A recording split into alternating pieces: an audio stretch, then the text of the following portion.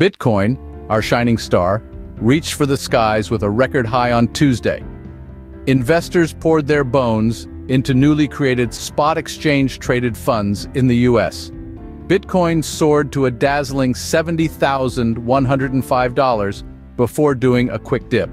Last seen trading at a fetching $68,700. Ethereum is gearing up for its own exciting journey ahead with its upcoming upgrade. Stay tuned. Moving over to the stock market, the S&P 500 and Nasdaq have had their share of ups and downs, with Nvidia's incredible run taking a breather. Keep in mind, every dip could be an opportunity in disguise. Remember, every day is a fresh shot at uncovering the extraordinary, so stay sharp, stay curious, keep pushing those boundaries and smash that thumbs up button. Subscribe. Dive into the world of Napoleon Media. Let that insatiable curiosity drive you. Stay tuned for more electrifying content, because here at Napoleon Media the adventure is just beginning.